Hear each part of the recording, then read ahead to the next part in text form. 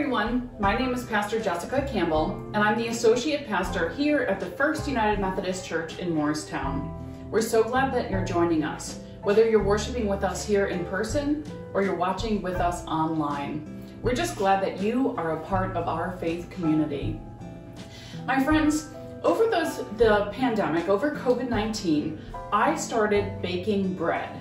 And I was very surprised to find out that the most basic form of bread really only requires four ingredients. Water, some salt,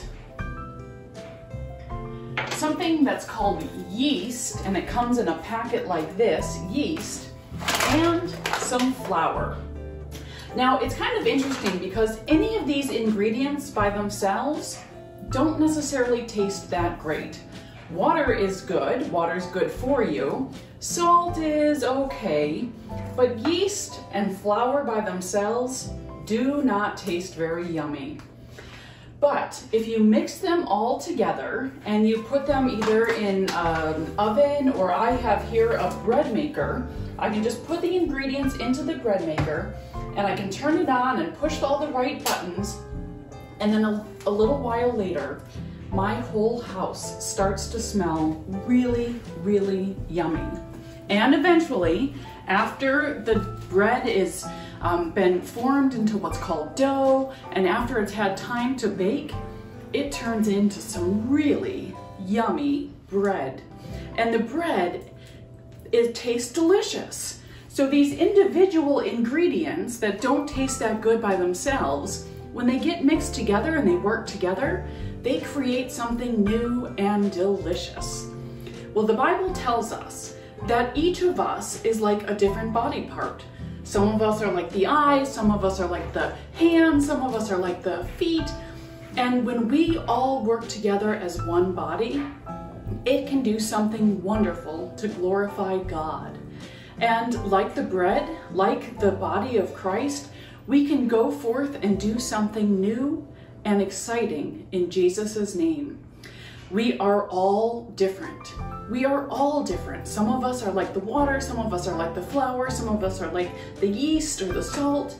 But when we come together and we work together and we form the bread, the body of Christ, it is something that is delicious and it has the power to change the whole world.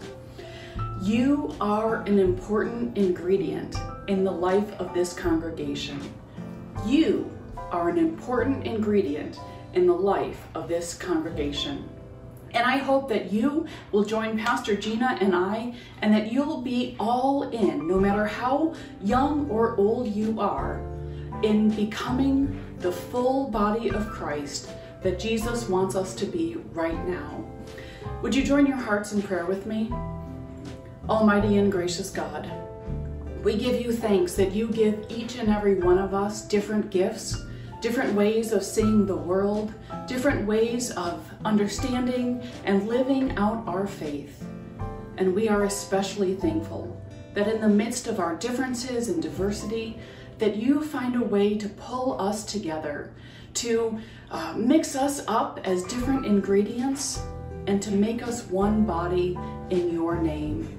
We ask, oh God, that you will help us continue to find out the ways that you want us to be the body of Christ right here in Moorestown. Lord, we are ever thankful for the presence in our life, for the presence in our church, for the presence in our community and in our world.